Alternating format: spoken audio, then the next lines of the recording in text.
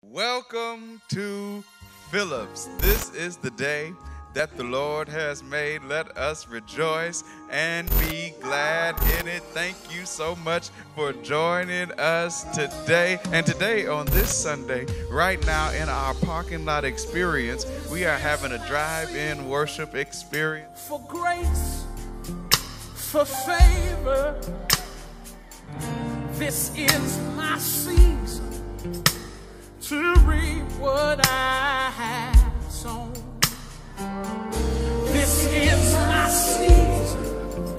for grace, for favor. This is my season to reap what I have sown. Y'all listen at this.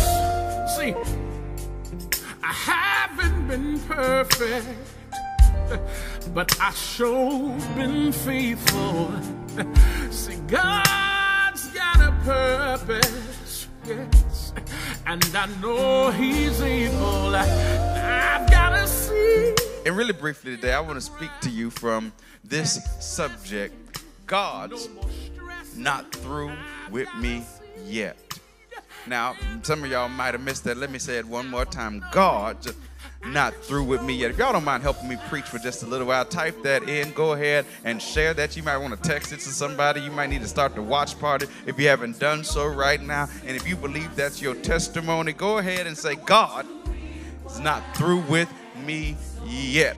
Come on, you say, This is my season for grace, for favor.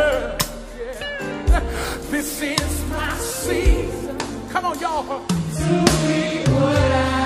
See, the other folks who, who didn't understand what you came through, you said, excuse my experience. But to the folks who, who see you and you know you've got big plans, but your life looks like a mess, you tell them your dreams and they look at you sideways and say, How in the world do you think that you're going to be able to get there from here? You need to look at them folks and say, Pardon my progress. And I don't care what your circumstance says, it's already getting better.